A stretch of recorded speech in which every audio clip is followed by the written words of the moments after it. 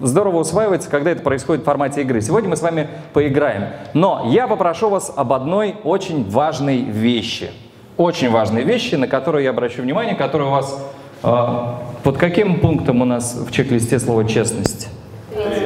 Третье. Должно было быть первым, но пускай будет третьим.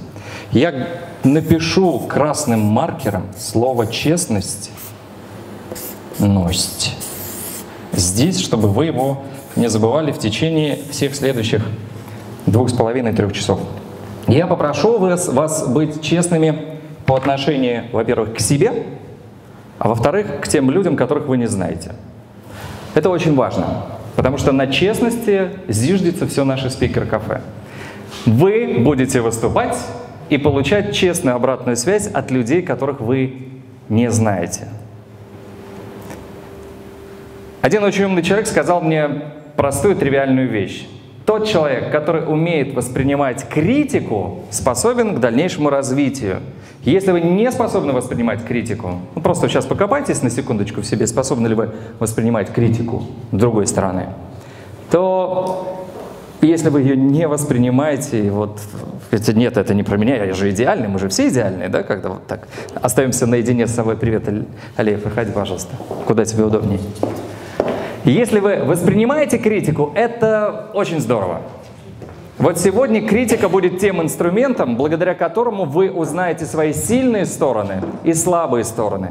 Слабые стороны стоит прокачивать, сильные стороны стоит держать в том тонусе, в котором они у вас есть. Ну, естественно, тоже держать на уровне. Так вот, честность – это то, на что мы с вами сегодня обращаем главное внимание.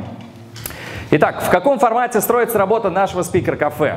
Я вам сейчас дам совершенно чуть-чуть небольшой теоретической базы, совершенно чуть-чуть. Затем вы выступаете. Все получили свои слова, свои темы. Они такие разные, они не похожи. Здесь есть еще один огромный плюс. Мы сегодня с вами получаем информацию из уст других людей, которая, как мне кажется, будет полезна. Потому что есть какие-то вещи, которые мы сегодня с вами узнаем. И вообще еще один важный постулат лично для меня – если ты за день не узнал ничего нового, день прожит зря. Ну, ну так и есть. Поэтому очень здорово, что сегодня сквозь призму активной мозговой деятельности других людей вы узнаете что-то новое для себя. И таких новых тем будет вот столько, сколько вас. Мы не можем приглашать сюда больше 15-20 человек, как вы понимаете, потому что это может затянуться бесконечно долго. Формат. Формат очень простой. У вас есть ровно 4 минуты вашего выступления. У вас есть площадка, у вас есть аудитория, которую вы не знаете. И чем ценна эта аудитория? Тем, что именно такая аудитория, которую вы не знаете, может дать вам объективную обратную связь. Согласитесь, что родственники после вашего выступления на Новый год э, перед родителями, там, перед бабушками, дедушками скажут, какой ты молодец, это было лучшее стихотворение. Но отчасти это будет неправдой, и мы начинаем двигаться по тому пути, который, слушайте, да я молодец, да в караоке мне 100 баллов поставила вот эта система, когда я пел. Да мне же все аплодировали. Но согласитесь, что со всеми было такое, и не совсем верно, когда мы начинаем сбиваться с истинного пути и идем вот по пути, куда нас уводит вот кривая тех людей, которые, ну, в общем-то, хотят, э, ну, не выглядеть в наших глазах плохо. Так вот, принцип очень простой. У меня есть генератор случайных чисел, у вас есть случайные числа. Если у вас цифра 5, это не значит, что вы будете выступать пятыми по счету. Возможно, вы будете первыми или последними. Вторая цифра, красная. Зеленая – это вы спикер. Красная, обратите внимание, это вы критик.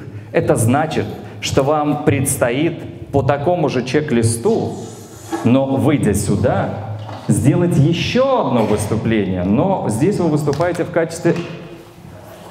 Да. Здесь вы выступаете уже в качестве человека, который пытается дать объективную оценку только что выступившему человеку. Нет, нормально, нормально. Это физика. Просто филологу с физикой тяжело. У нас будет чек-лист. Вы выступаете, выходит какой-то совершенно вам незнакомый человек и разносит вас в пух и прах, либо наоборот возносит вас до небес и говорит, слушайте, это было лучшее, что я слышал за последнее время. Это очень простой, понятный принцип. Далее, каждый из вас уже в лице, так скажем, анонима делает свой чек-лист. Вот они у вас есть. Вы проставляете свои оценки тому человеку, который выступает. У всех у нас есть номера, у всех у нас есть имена. Вот фамилии мы забываем, чтобы быть вот максимально абстрагированными от того человека, который здесь есть. Здесь абсолютно разные люди.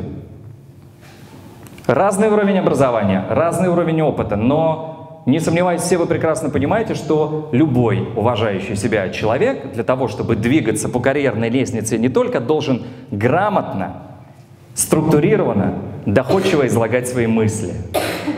Вы же хотите вырасти по служебной лестнице? Да. А отмечать галочками, что ли? Отмечать по пятибальной шкале. Потому что как только у нас выйдет первый критик, вы все сразу же поймете. У нас интуитивно все очень просто и понятно. Эта история работает на любых языках, на любых континентах, с любыми людьми, с разным уровнем образования. Понимаете, а бывают люди, у которых достаточная степень харизмы, но недостаточная степень образования. И такой человек на свадьбе лучшего друга гораздо выглядит лучше, чем человек с профессорским образованием, но не привыкший говорить. У нас 10 пунктов в нашем чек-листе, у вас их также 10. И я хотел бы, прежде чем мы перейдем, у нас такая, знаете, практика, теория. Практика, теория, потому что выглядеть будет это следующим образом. Первому будет легче всего. Я всегда это говорю. Последнему, ну, Полина помнит, последнему будет сложнее, потому что вы будете смотреть, вы будете брать лучшее от лучших и не брать худшее от...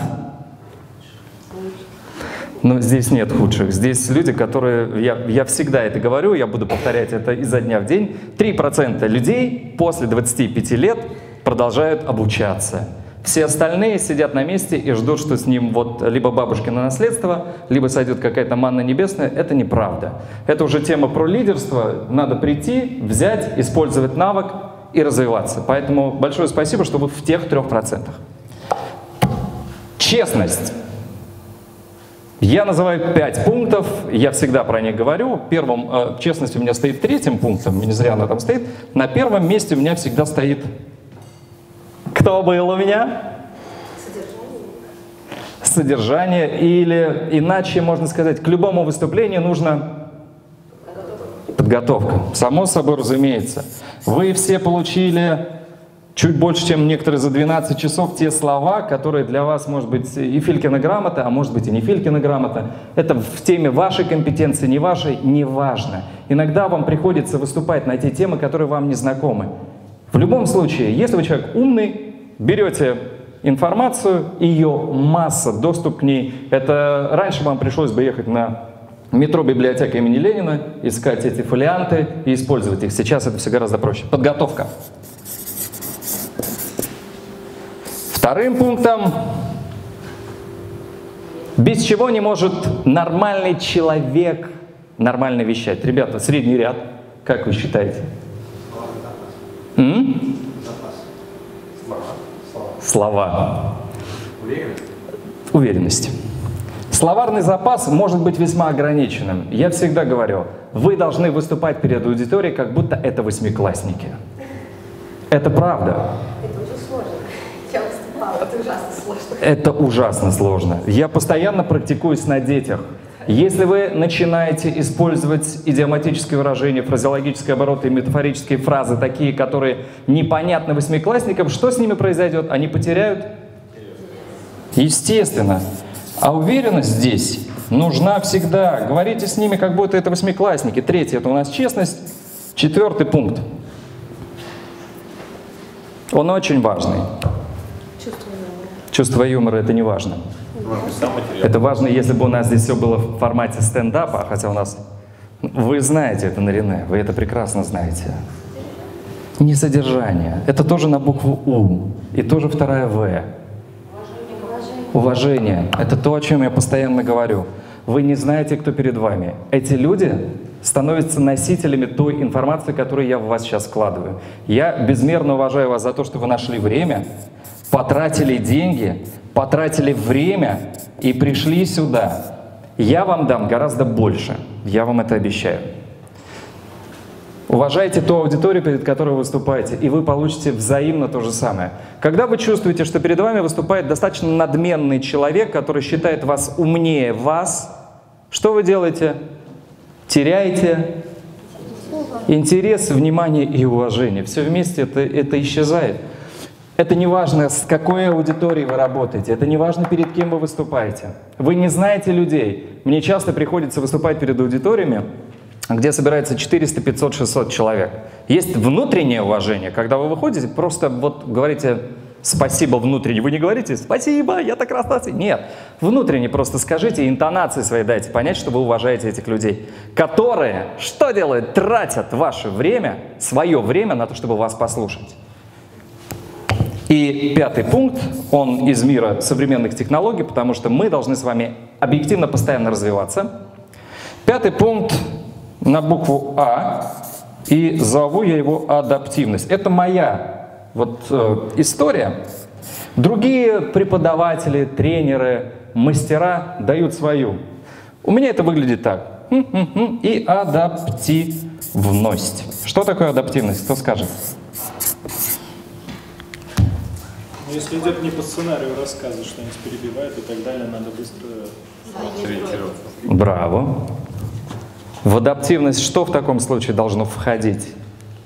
Быстрая реакция. Быстрая реакция, отлично. Что еще? Чувство юмора. Чувство юмора, да. Согласен, вот здесь. Что еще? Мыслить не шаблонно. Что еще? Ну, концентрация, она важна вообще для любого мероприятия. Что еще? В адаптивность. Что? Человек должен быть каким, чтобы разговаривать с любой аудиторией? Внимание, у меня не восьмиклассники, у меня профессора МГУ, которая занимается лингвистическими исследованиями. Каким я должен быть? Ну, во-первых, я должен знать, какая эта аудитория подготовиться к ней, а во-вторых, у меня должен быть весьма широкий кругозор для того, чтобы говорить с людьми на одном языке. Здесь, внимание, если у вас кругозор не очень широкий, вы подключаете пункт под названием «Уверенность», потому что вы же говорите в микрофон, говорите это уверенно, значит, вы об этом знаете. Где-то можно приврать, и так многие спикеры делают. И подключайте пункт уважения. А здесь уже начинается игра. Можно очень легко переключить, сказать, вы знаете это гораздо лучше, чем я, поэтому я тему оставлю вам для вашего внутреннего обсуждения, а сам перейду к тому, в чем, как мне кажется, я разбираюсь лучше, чем вы. Но тут надо быть осторожным. Потому что если вы декларируете, что вы в чем-то разбираетесь лучше, чем человек, вы помните, вот Александр, когда у нас был случай на предыдущем тренинге, когда девушка рассказала про Марию Шарапову, а потом на нее вывалили ворох проблем, связанных с этим, потому что девушка была не права. Но она говорила об этом уверенно. Но в зале нашелся эксперт, который разбирался в этом лучше. Будьте аккуратны. Вот, всего лишь пять пунктов, соблюдая которые, запомните их, это очень просто. Я э, всегда рисую здесь, в этом месте, звезду Патрика. Не, не звезду Патрика, э, вот, а Патрик, морская звезда из Панч Боба. Опять же, кругозор, понимаете? Когда работаешь с детьми, нужно знать, кто такой Патрик. Патрик выглядит так, примерно. И Патрик, это же морская звезда, а морская звезда, э, какая главная нога? Любая, верно. И поэтому все вот эти пять пунктов, подготовка, здесь я честность рисовал, здесь я уважение, здесь адаптивность и здесь э, уверенность. Они могут быть с разной стороны. Вот, запомните Патрика. В следующий раз, когда будете выступать перед любой аудиторией, неважно какой, вот ваш секрет успеха. И я призываю ваш этот секрет успеха использовать в любом выступлении. Сейчас мы начинаем постепенно, это очень коротко. И самое интересное, что те ошибки, которые вы будете совершать, мы на них будем обращать внимание, и вы будете их изолировать, чтобы больше к ним не возвращаться. Ошибки могут быть совершенно разными. Нет идеальных спикеров. Нет идеальных людей. Все совершают ошибки. Но если вы признаете себе в том, что вы совершаете ошибки, вы набиваете себе шишку, вы встаете на эти грабли. Вообще, на какие грабли лучше вставать, на свои или на чужие?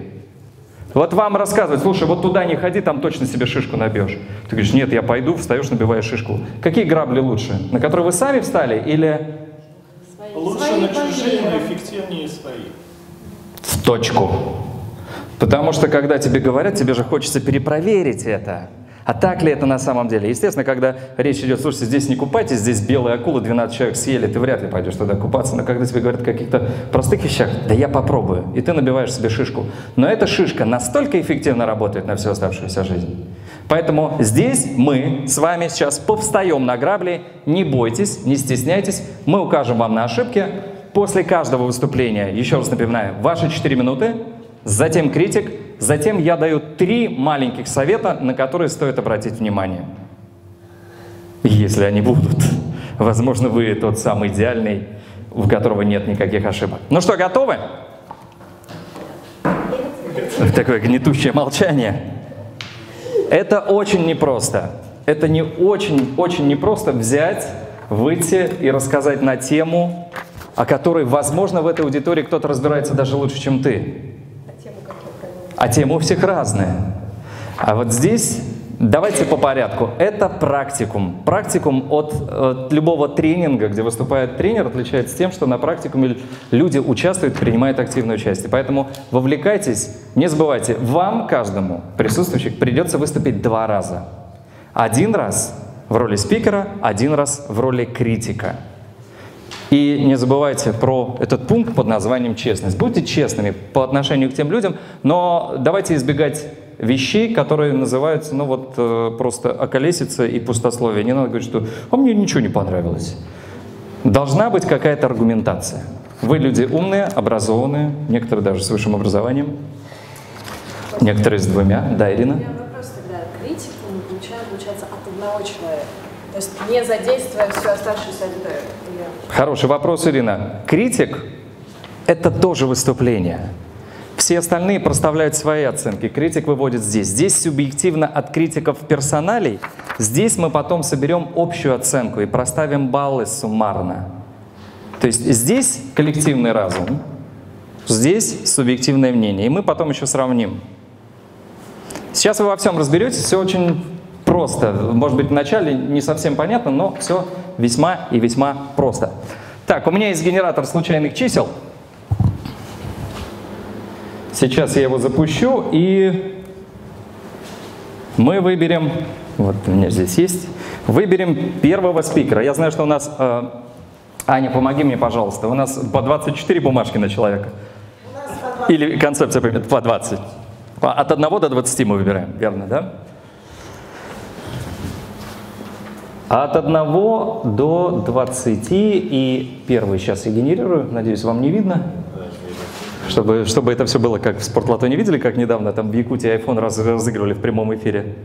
Видели? Ну, следите за мемом, там было очень весело. Там девушка четыре раза доставала и называла один и тот же номерок, все в прямом эфире было весело. Так, сгенерируем мы сейчас случайное число и от 1 до 20, ну, система. Я, я считаю, что да. Он отсутствует, он не пришел. От 1 до 20 и исключаем повторение, сгенерировать.